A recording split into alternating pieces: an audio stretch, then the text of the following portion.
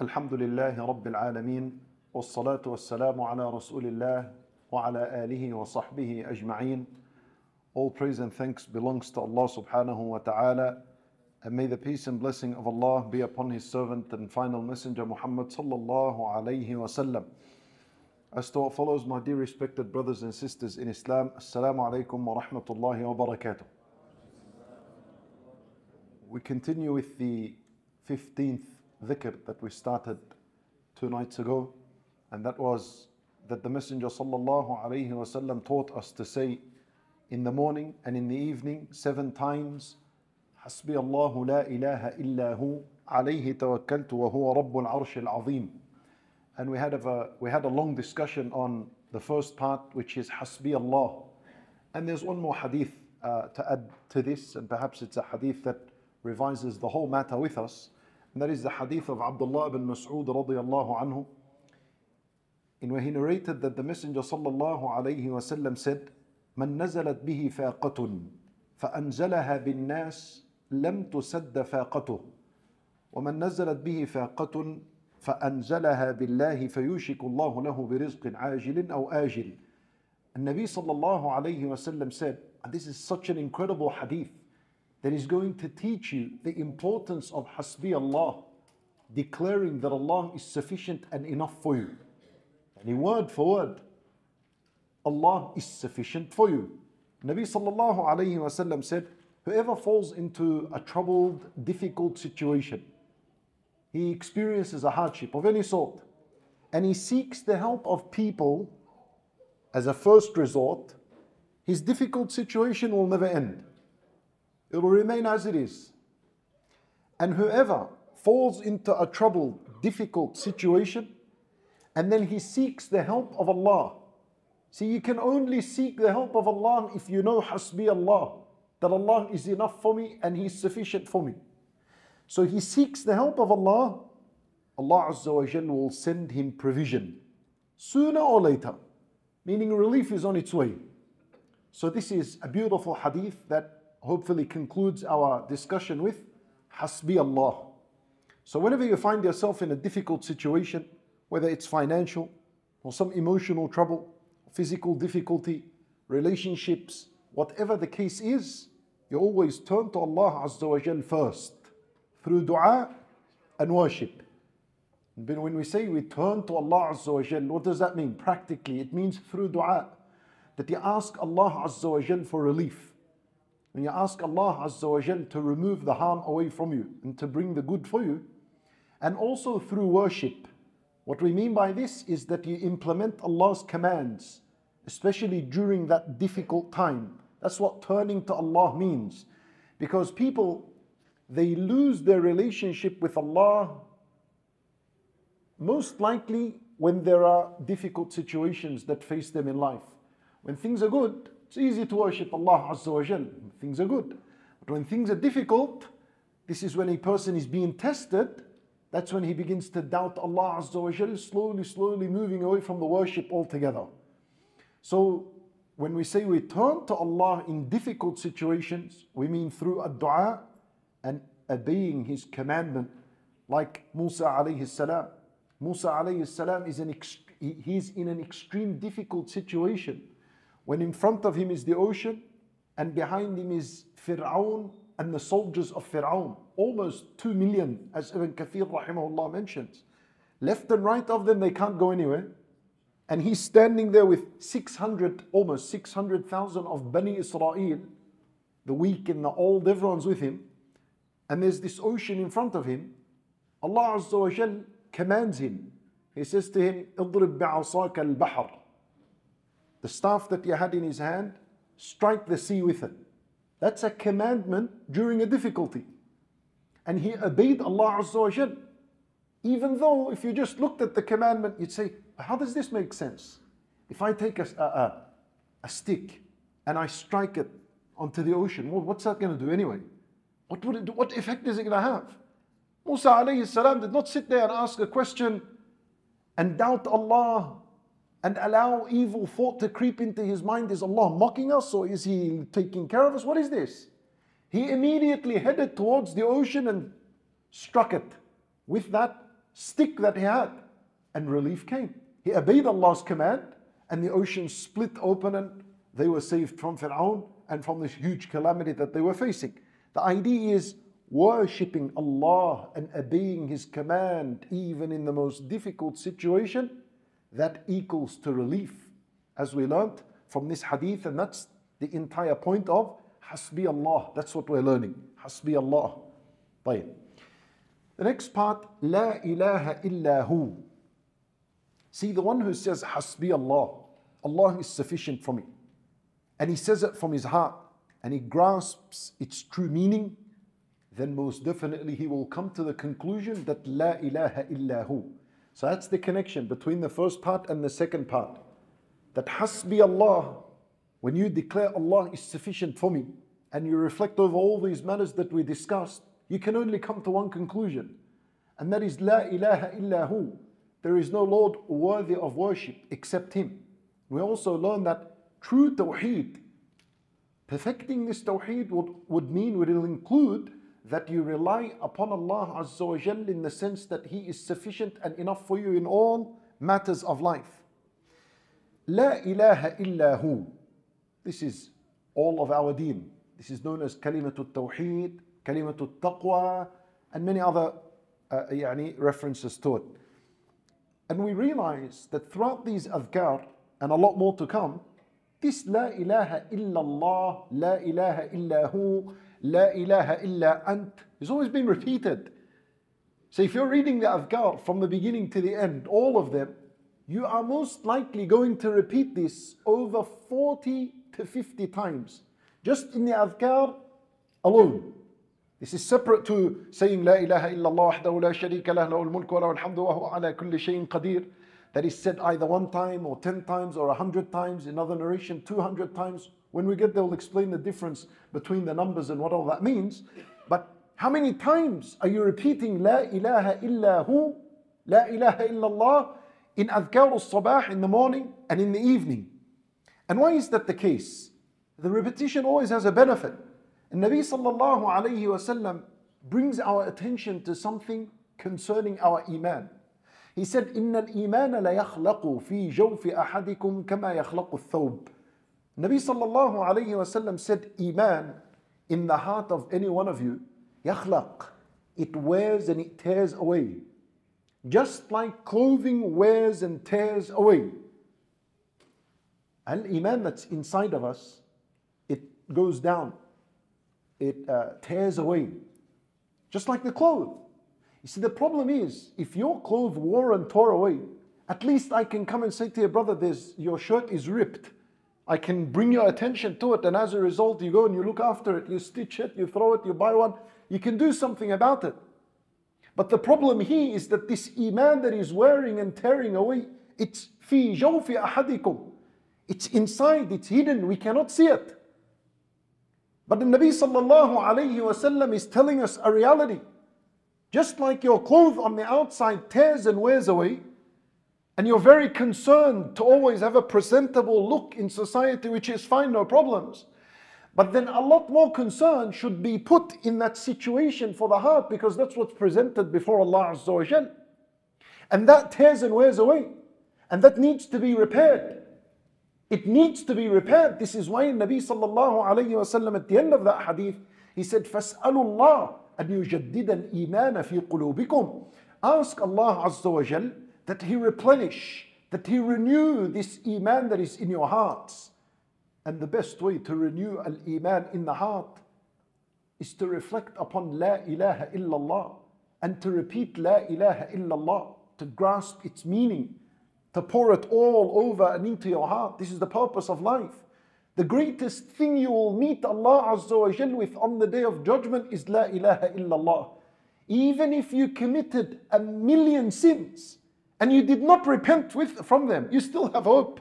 You still have hope somewhere there. As the Nabi sallallahu alayhi wa sallam, he said, لو بلغت ذنوبك عنان السماء ثم لقيتني لا تشرك بي شيئا غفرت لك على ما كان منك ولا أبالي النبي صلى الله عليه وسلم he said if your sins were to reach عنان السماء if they were to reach the clouds you know what that means that means in every inch on earth, you've committed a sin and you've piled them all up until it reached the clouds. Then you move your foot to the next part.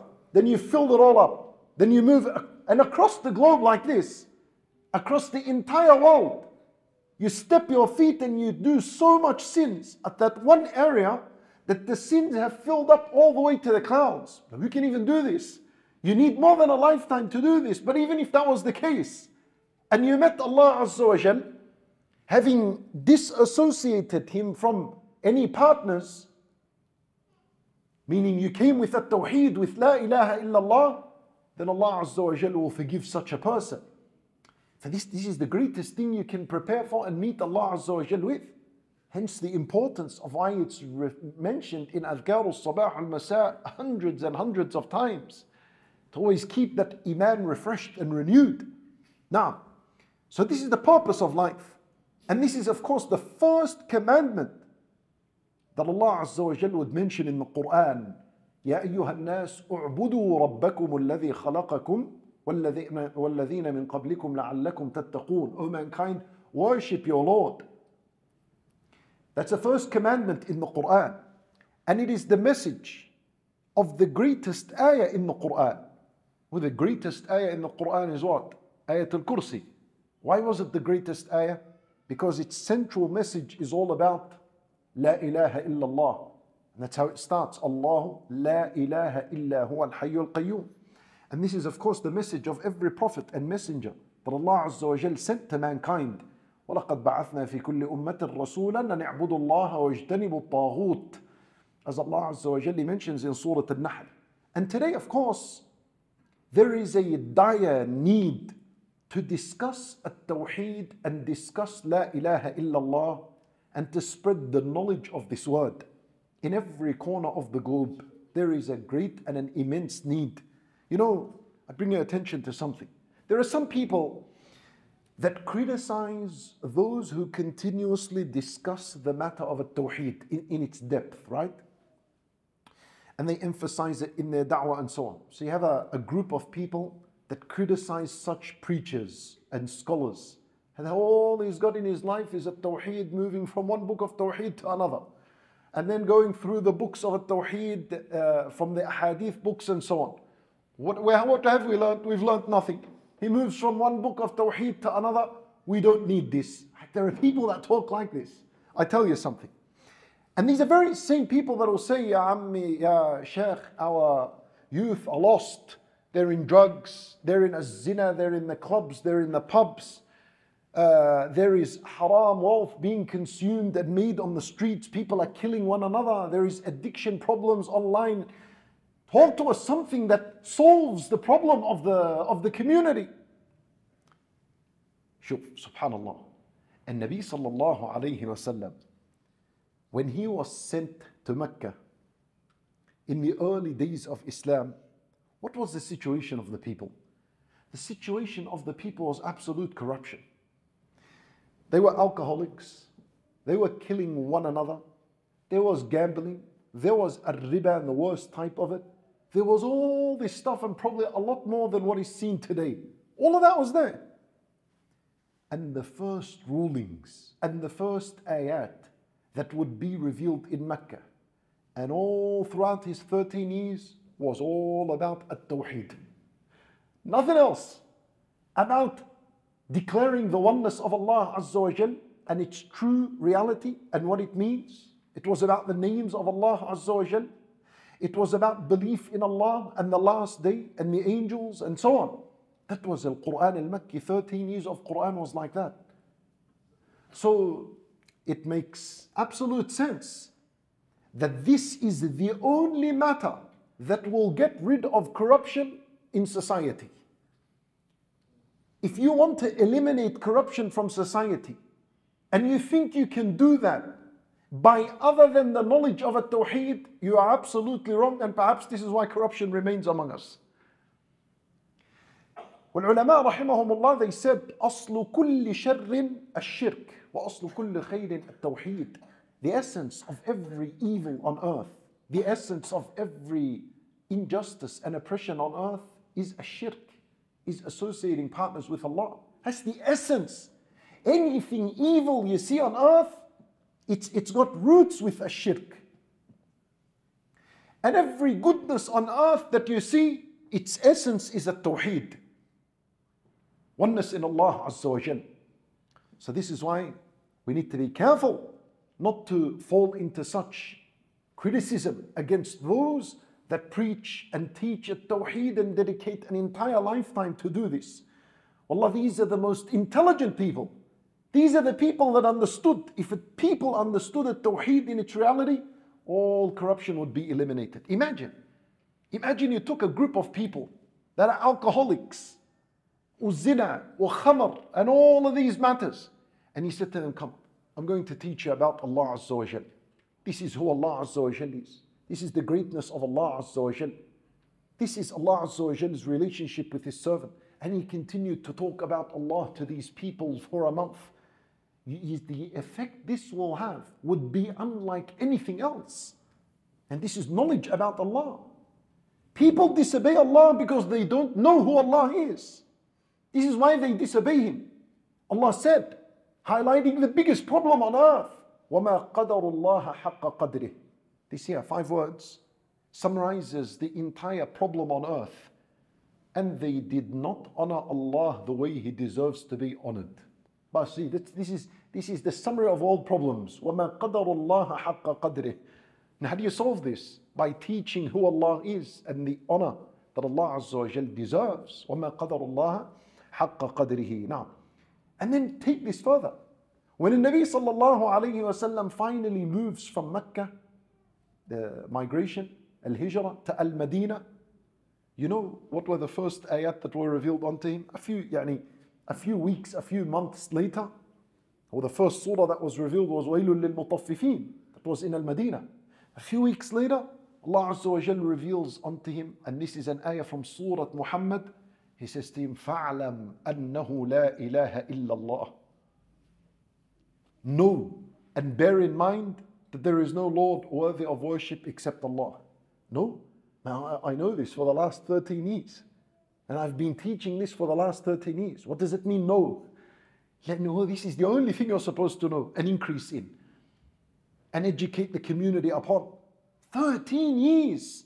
And the first command coming down, فَعْلَمْ أَنَّهُ لَا إِلَهَ إِلَّا اللَّهِ Then this is the correct approach for the Muslim to grasp and understand the importance of a tawheed and its effect in eliminating corruption on earth.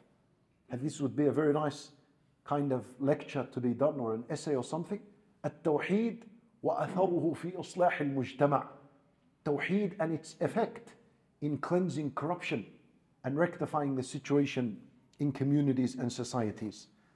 طيب. حسبي الله لا إله إلا هو.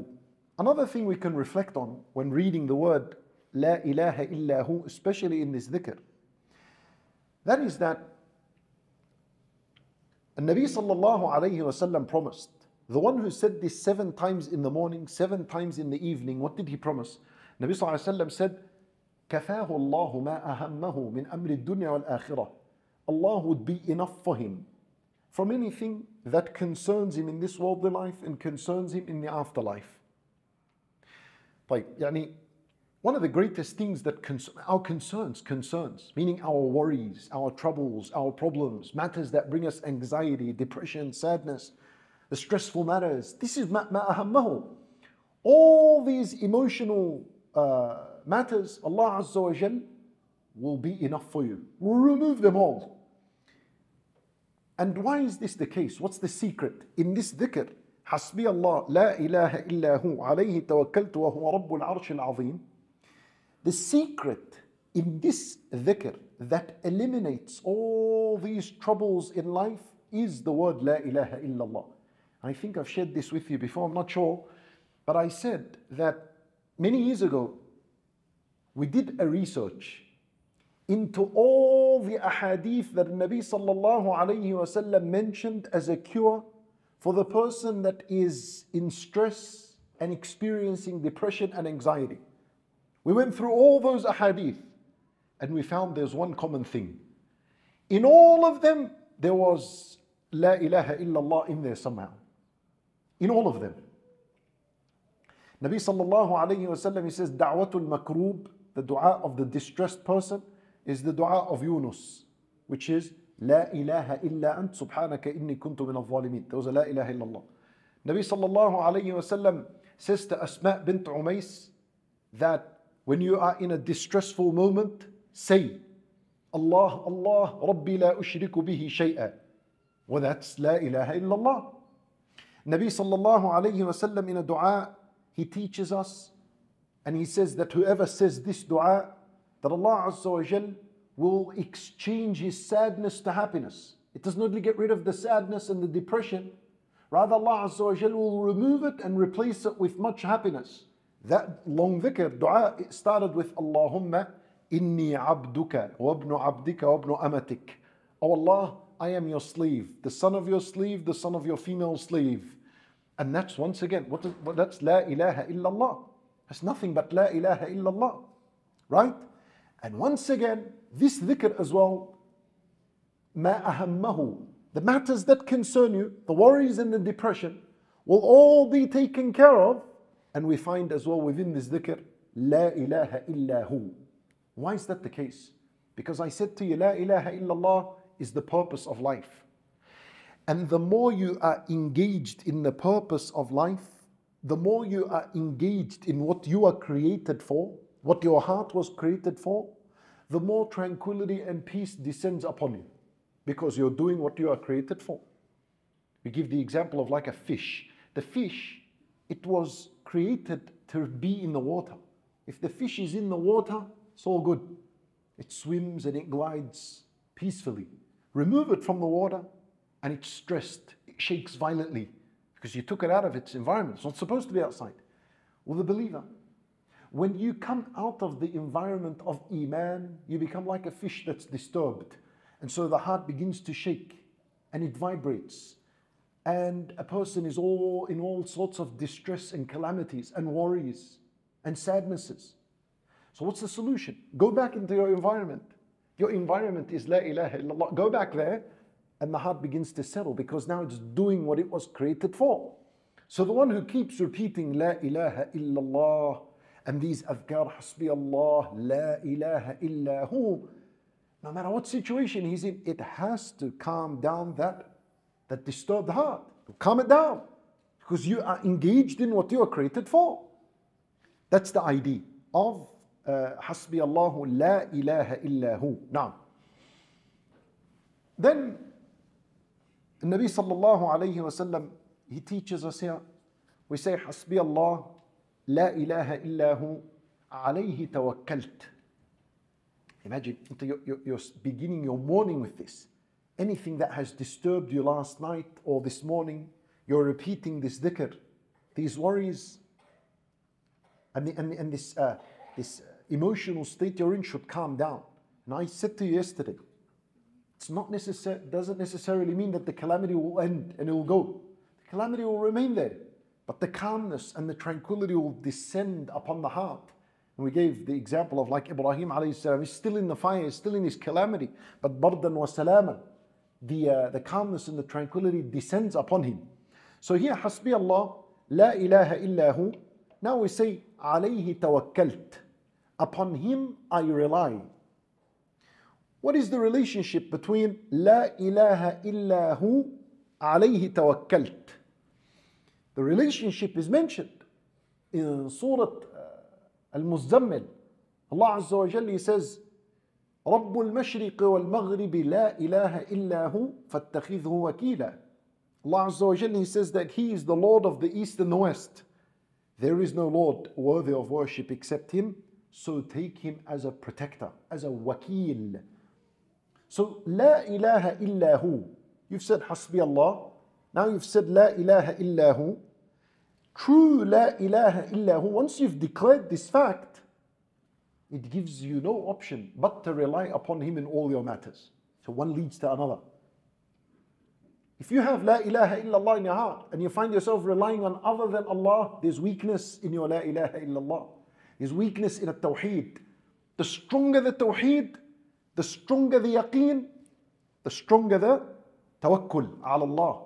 Well, that's the equation. Ulama, rahimahumullah, they say from the positive effects of al-yaqeen, from the positive effects of certainty, is that a person relies on Allah Azza wa Jal. La ilaha illahu develops that certainty in the heart, and a positive effect of that is that you begin to rely on Allah Azza wa Jal in all your matters. عليه توكلت. He did not say توكلت عليه, even though in the language we could have said حسبي الله لا إله إلا هو توكلت عليه. You can say that. But عليه, the pronoun would come first and then توكلت. عليه توكلت وهو رب العرش العظيم. Why? That creates something called الاختصاص, exclusivity.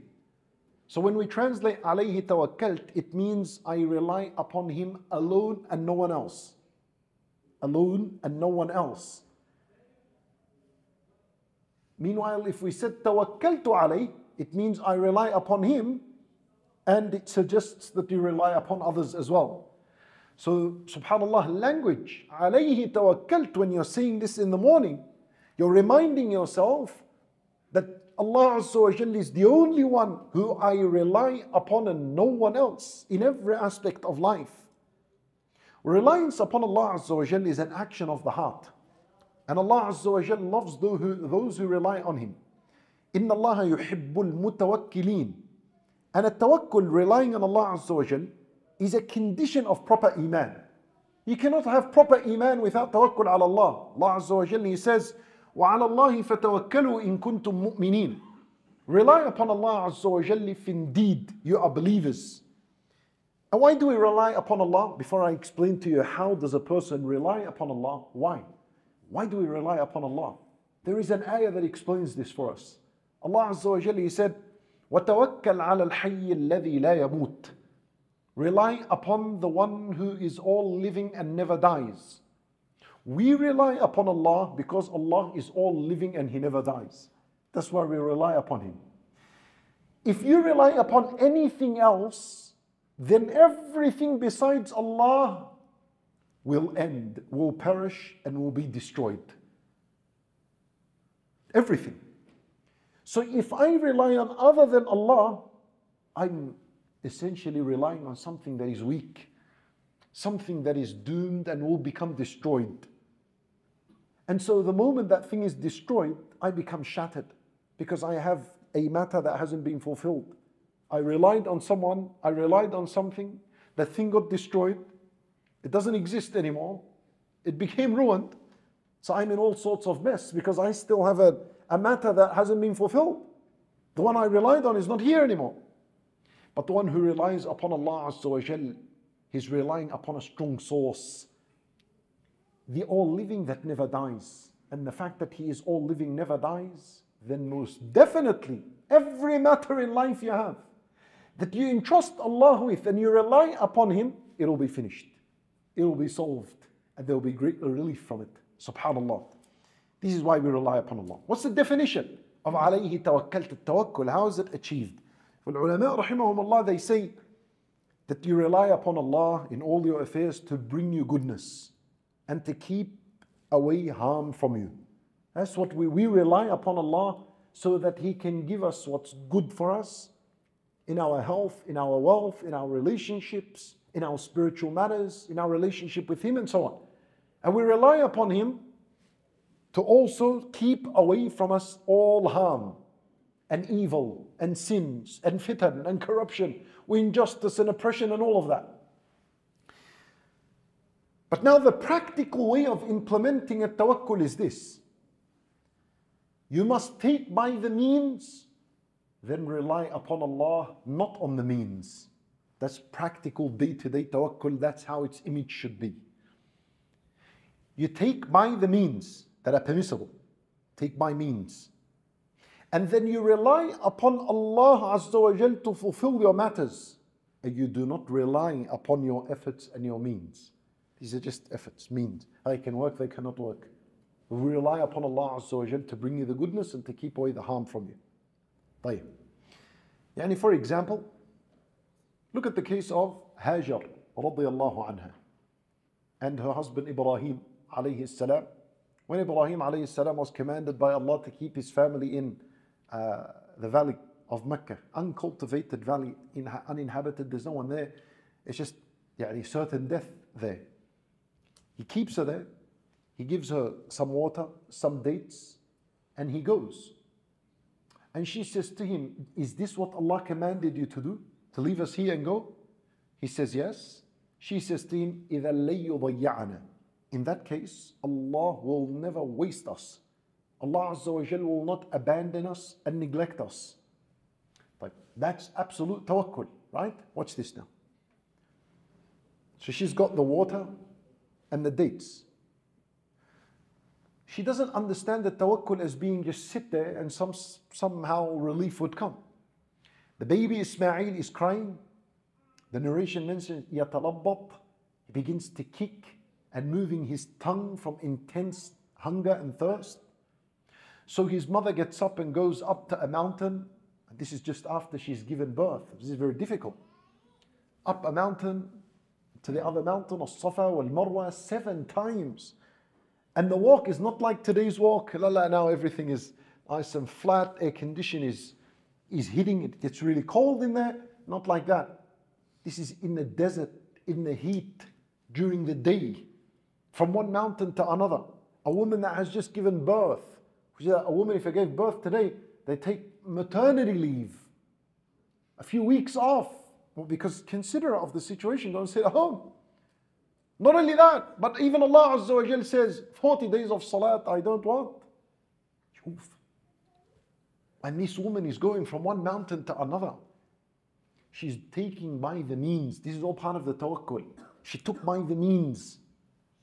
And then eventually, uh, she comes down because she hears a sound, a faint noise, a very low noise.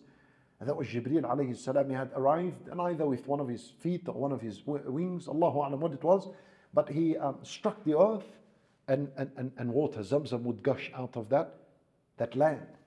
And it's with us until today.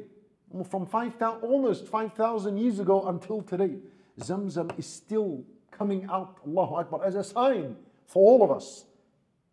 That this is what tawakkul is. And many lessons could be learned. We're, we're taking the story from this tawakkul perspective. So Hajar radiallahu anha, she took by the means and she exhausted herself and put every effort she can. Seven times, not one or two, seven times. In the end, she did not rely on her efforts. She relied upon Allah. How do we know? Because she said to Ibrahim, Allah will not abandon us. So she knows relief is coming from Allah. He will move off the evil, the harm away from us, this hunger and this thirst. He'll bring the goodness, which is the provision.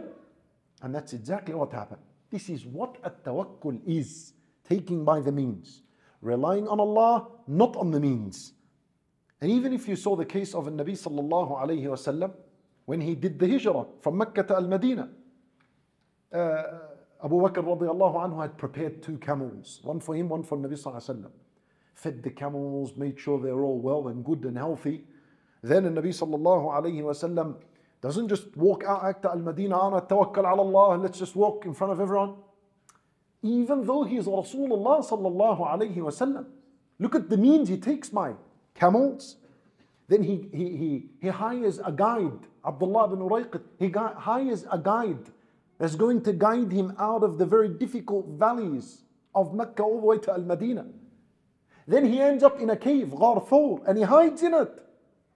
They took, they did all these means to keep away from the disbelievers so they're not seen and caught.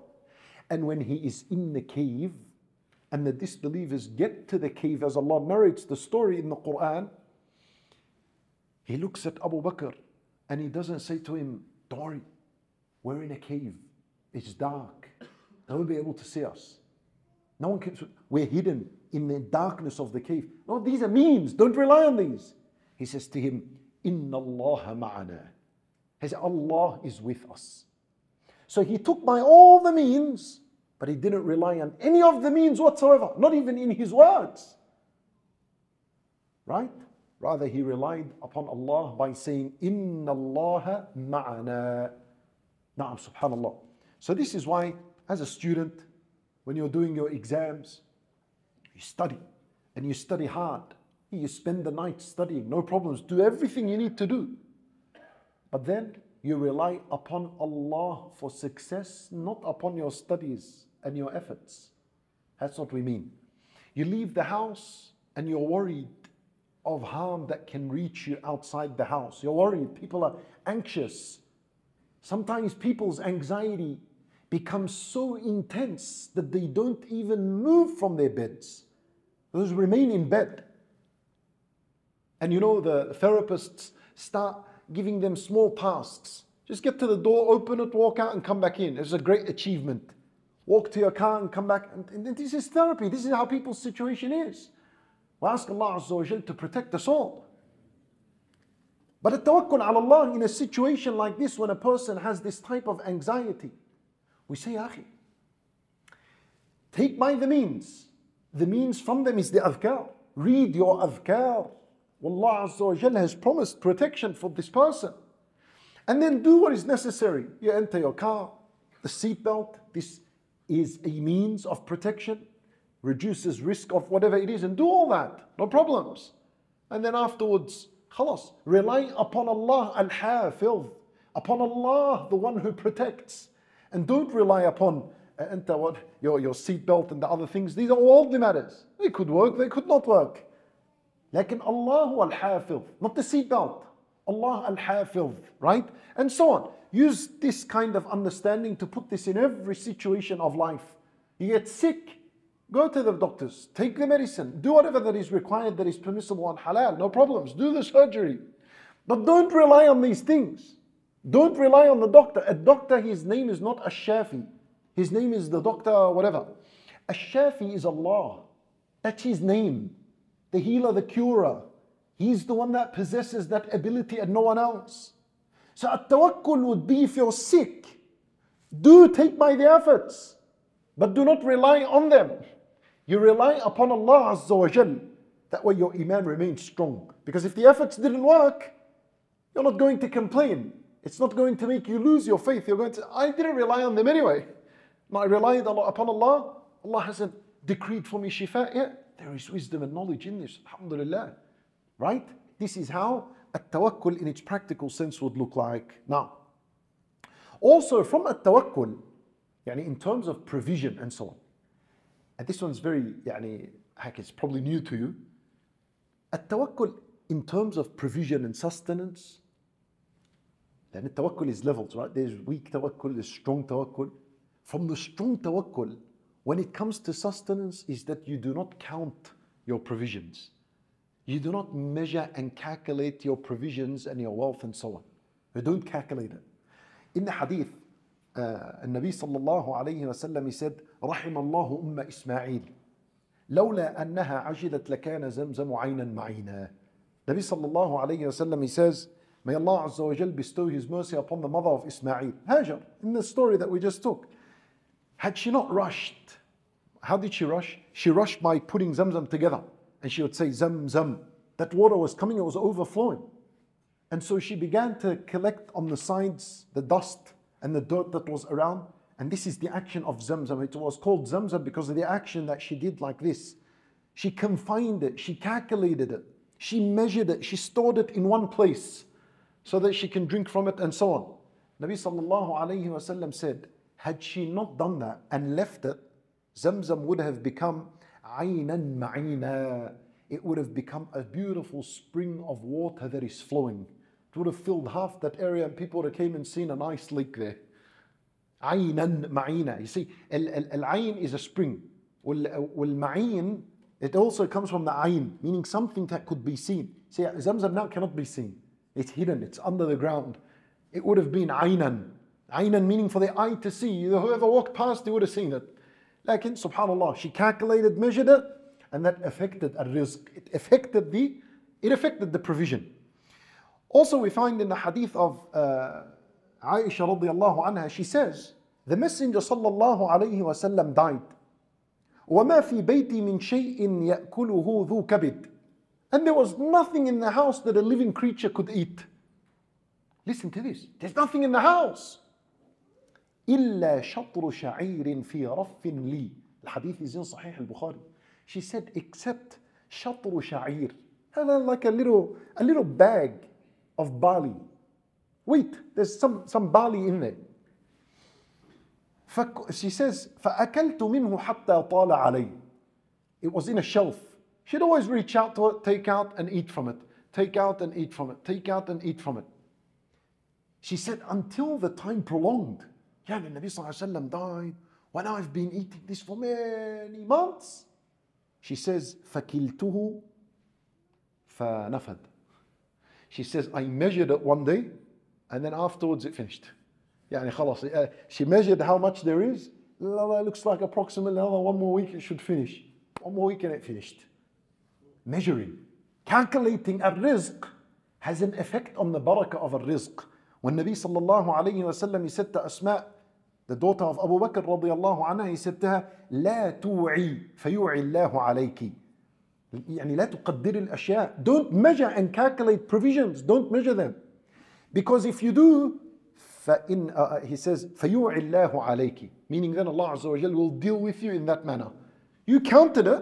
That means in your mind, there came an expectation of how long this will last. So Allah will deal with you in that manner. and that expectation you had will be right and it will finish at its time. You only calculate in necessities, like to know what your zakat and mal is supposed to be and so on. But in generally, well, the digital world, the digital currency, you don't have to calculate anything, they've calculated everything for you. But this is perhaps, Allahu A'lam, al barakah that goes away. But generally, when a person gets something, don't calculate it. You have things in the cupboard, things in the fridge, Sometimes the mother, before she leaves the house to buy something, check how much is left in the rice, or check how much pasta is left. See, it's almost going to finish, we'll get a new one. Oh, it's going to finish soon. So implementing these ahadith is to say, we're not going to do this. Wallahu alam yani. Now, so عليه توكلت. Finally, and we come to the last part of this dhikr, وهو رب العرش العظيم. You see, I told you it all connects with each other. So now we're up to عليه توكلت. Upon him we rely and no one else. Why do we rely upon him? That's the question. See, this dhikr gets you to think in every part of it. Why do you rely upon him? وهو رب العرش العظيم because he is the Lord and the possessor of the mighty throne. Allahu Akbar. Yani if he's the possessor of the mighty throne, that means he owns everything else. That means the best one I can rely upon is Allah Azza because in his, his hands is everything. He owns everything. So if I need something, I need to rely upon someone who possesses it and has it. And that is Allah Azza. So it gives you a reason for why you rely upon him. There is the mention of Al-Arsh, Rabbu Al-Arshi Al-Azim. And we know that the Arsh is the first creation of Allah Azza. This is what Allah created first, Al-Arsh. We know that it is the roof of all creation. That's what arsh means. Arsh, arsh means a roof. And so al arsh is called the arsh because it is the roof of all the creation of Allah Azza wa Jal. When Nabi sallallahu alayhi wasallam he said in the hadith that if you were to ask Allah Azza wa then ask him al firdaus. Because al firdaus is awsatul jannati wa a'la al jannah. It is the middle of the paradise and it's the highest point of the paradise. Because where the paradise is like a dome shape So when you get this dome shape, the middle is Al-Firdaus and that would be the highest point as well. That's where Al-Firdaus is. And then the Nabi sallallahu alayhi wa sallam said, وَفَوْقَهُ عَرْشُ الرَّحْمَنِ And above Al-Firdaus is the arsh of Allah Azza wa Jal. So now, يعني just for clarification purposes, if you wanted to know exactly how the matter seems to be, it would be Arshullah Azza wa Jal. The arsh of Allah is there, and it's also in a dome shape. Above the arsh is Allah Azza wa Jal. Then there's the arsh. Then below the arsh there is a water. There is a water. And the arsh has legs, qawa'im, it has legs. And these legs go through this water. And then underneath all of this, underneath the water, there is al-jannah, starting from al-firdaus and going all the way down in its levels. And the paradise is 100 levels. Then underneath this, there is a sama the seventh sky, the sixth, the fifth, the fourth, the third, the second, the first. Then there is Jawu Sama, which is this, uh, this land, this yani space that we're in right now, from the sky all the way to the earth. And then underneath us, there are seven earths, and then there is water underneath that. That's the structure. Now, Wal Arsh itself is the biggest of what Allah Azza created, of what we know. يعني العرش is bigger than the Jannah, it's bigger than the hellfire, it's of what we know. You see, Allah Azza wa Jal is able to create bigger than the arsh. He's able. Maybe there is something that He created that is greater that we don't know of. Allahu A'lam. But what we know is that the greatest of what Allah created is Al Arsh. Allah Azza wa Jal is the only king whose throne is bigger than everything else he owns. Every other king on earth, his throne is small in comparison to everything he owns. Subhanallah. And the greatness of the arsh itself, because you see, when you say, وَهُوَ رَبُّ الْعَرْشِ الْعَظِيمِ Once you understand the greatness of the throne, you'll understand the greatness of Allah Azza wa Jal. Uh, Nabi sallallahu alayhi wa said that the heavens and the earth, these seven heavens, and all this earth that is underneath us, in comparison to the kursi, the kursi is the footstool of Allah Azza wa Jal. It's like a ring in a desert. The ring, yani the ring of the, the armor vest. A ring in a desert. That's the heavens and the earth in comparison to the kursi. With the kursi of Allah Azza wa Jal, in comparison to the arsh of Allah, the throne, is like also a ring in a desert. Subhanallah. This is a magnificent, huge arsh. When you know the greatness of the arsh, and that's how Allah described it. وَهُوَ رَبُّ الْعَرْشِ الْعَظِيمِ That's the same word Allah used to describe Himself, Al-Azim. When you know the greatness of the arsh, you're struck with awe, saying, Imagine then the greatness of Allah Azza wa Jal. Right? This is what the dhikr is putting into your heart of greatness of Allah Azza wa Jal. And of course, this distance of the arsh is what mentioned in a hadith of the Messenger sallallahu alayhi wasallam. I share this with you in hope that it gives us an understanding of the greatness of the arsh. And that's not the point. The point is so that we realize the greatness of Allah Azza wa Jal. This is the hadith of Al-Abbas ibn Abd al-Muttalib radiyallahu anhu. And this is a hadith that was authenticated by some of the scholars like Ibn Khuzayma wal-Dhahabi wal-Hakimi wal-Hakim wa-Ibn al-Qayyim as well. Nabi sallallahu alayhi wa sallam, he said, Oh, sorry, this was uh, Al Abbas ibn Abdul Muttalib. Who, who's Al Abbas? Anyone knows? Uh, he's the uncle, the uncle of Rasulullah sallallahu alayhi wasallam. Al Abbas. He said, كنا عند رسول الله صلى الله عليه وسلم. We were with the Messenger صلى الله عليه وسلم one day, and he said to us, to us, هل تدرون كم بين السماء والأرض? Do you know the distance between the heavens and the earth? They said, Allah wa Rasuluhu a'lam. We don't know. Allah and His Messenger know best. He said, بينهما مسيرة خمسمائة سنة. Between them is the distance of 500 years. Between this earth and what is above us, 500 years. Then he said, and from the and the distance of every sky to the next sky is also 500 years. And that's how many? That's that's what seven skies. So from here to the first one, 500 years. Then between each one is 500 years. Then the Nabi sallallahu alayhi wasallam said, وَكَثْفُ كُلِّ سَمَاءٍ سَبْعُمِائَةِ سَنَةٍ خمسمائة سنة and the thickness of every sky is also 500 years the thickness of the sky itself وفوق السماء السابعة بحر and on top of the seven uh, heavens there is a there is an ocean there is a bahr and above this ocean, when Nabi sallallahu alayhi wasallam he said that this ocean, the distance of this ocean from the lowest point to the highest point is also 500 years. Above this ocean is Al Arsh, and from the lowest point of Al Arsh to the highest point of Al Arsh is also 500 years. And above all of this, the Nabi sallallahu alayhi wasallam said, Wallahu subhanahu fawqa dhalik. Allah Azza wa Jal is above all of that. And listen to the end of the narration. He said, وَلَيْسَ يَخْفَى عَلَيْهِ مِنْ أَعْمَالِ بَنِي آدَمَ شَيْءٍ The narration mentions, and nothing of the deeds of the children of Adam is hidden from him. the distance where it is. And nothing is hidden. The message is, Allah sees every moment of your life and every second of your life. Hadith is incredible. This is the greatness of Allah subhanahu wa ta'ala. So when you're sitting and you're reading this dhikr and you're saying Hasbi Allah, La ilaha illa huwa alayhi tawakkaltu wa huwa rabbul arsh al-azim, then you realize that this arsh, it's, it's in that hadith that the Nabi sallallahu alayhi wasallam told us nothing of our deeds are hidden to Allah. So you be sure that when you read this dhikr, that's from your deeds that Allah Azza wa was absolutely aware of and heard it from you. Sometimes a person could become overwhelmed. Say, yeah, man, I'm reading these adhkar every day. Yeah, what is Allah listening to me? Are these adhkar recorded? Yani, and I know I forget a few, year, a few weeks later, I forget if I even read them or not. Did anyone pay attention? Did anyone take heed of my effort and then I sat and I read that seven times?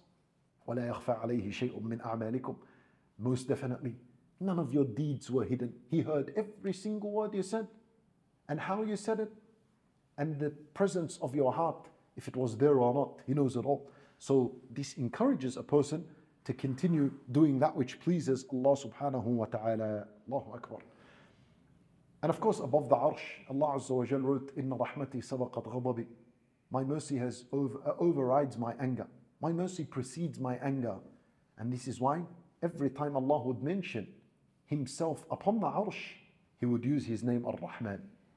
Ar-Rahmanu ala al-arsh istawa. In seven places of the Quran, as opposed to any name of His, any other name of His. Where He said Al-Aziz ala al-arsh istawa. Huh? Could have been any other name. Al-Jabbar ala al-arsh istawa. But Ar-Rahman ala al-arsh istawa. هذا, this is an encouragement to the servants that Allah Azza wa Jal has always been merciful with them. And if you always seek His mercy, bi'idhnillah, you'll meet the mercy of Allah Azza wa Jal. And if you turn your back from His mercy, and you run away from it, and you don't ask it, and you don't want it, then you don't get it. And your deeds are never enough to admit you into the paradise. This is why Dawood alayhi salam, when he made the dua, what did he say? وَأَدْخِلْنِي بِرَحْمَتِكَ في عبادك الصالحين. Admit me through your mercy among good companionship, which is in the paradise. He didn't say, admit me through my deeds. Allah, through your mercy. Allah Azza wa Jalla, He says, يُدْخِلُ مَن يَشَاءُ فِي رَحْمَتِهِ Well, the entire paradise is called rahmatih. It's called rahmatih because that's the only way you can get there, through His mercy. So when you read this dhikr in the morning and in the evening, and you're saying وَهُوَ رَبُّ الْعَرْشِ الْعَظِيمِ and then you just the fact that you said al-arsh it reminds you. Mercy. That's what's written above the arsh. And so it opens the door of Allah's mercy and you rushing towards it. It's like a call from Allah Azza wa come run to my mercy run to my forgiveness and I give you that. Now Wallahu alam. The end of the hadith says whoever says this seven times Allah will be enough for him. From everything that concerns him in this worldly life. What are your concerns in this worldly life? Well, there are many. There are many, and in many aspects of life. All of that, Allah will be enough for you. Doesn't mean that relief is going to come right, right second. Like we said, قَدْ جَعَلَ اللَّهُ لِكُلِّ شَيْءٍ قَدْرًا Whenever Allah has decreed for relief to come, it'll come. And waiting for Allah's relief in this worldly life is a worship in and of itself. As Ibn Rajab rahimahullah mentioned, said, you're all good. Nothing is gone to waste and you're not losing any time. And also, Allah Azza wa will be enough for him from everything that concerns him in the afterlife. That includes from after you die all the way until you meet Allah Azza wa Don't we all have concerns and worries? In the grave, or the angels that come, or fitnatul qabr, wa adhab al qabr, and then resurrection, and then accountability, wal hisab, wal sirat. All of these are huge concerns, way bigger than any concern in this worldly life. And all your worldly concerns are nothing the day you die. Finished. All put to an end. Then you got the real concerns that are coming. They're the bigger concerns. So whoever wants that Allah Azza wa Jal be enough for him for all his concerns and bring him goodness and keep him away from the evil and the harm, this dhikr seven times in the morning, seven times in the evening, saying it with a present heart, understanding what it means, working towards it, And we ask Allah subhanahu wa ta'ala to grant us relief. We ask Him subhanahu wa ta'ala to grant us goodness and victory and success. We ask Him subhanahu wa ta'ala to forgive our sins, to forgive our shortcomings, to bestow His mercy and forgiveness upon us. We ask Him subhanahu wa ta'ala to guide us until the day we die. And we ask Him subhanahu wa ta'ala to accept from us all. Wallahu a'lam. وجزاكم الله خيرا وصلى الله وسلم وبارك على نبينا محمد وعلى آله وصحبه أجمعين.